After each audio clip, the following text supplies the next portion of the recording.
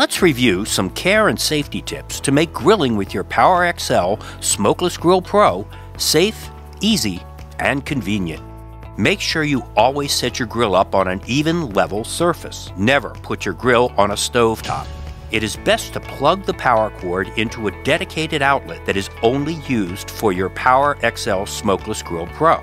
To prevent scratching the non-stick coating, use only non-metallic utensils. Do not cut food on the grill plate using sharp metal utensils like knives or forks. They can scratch the cooking surface. Do not use steel wool, scouring pads, or abrasive cleaners. These can scratch the coating.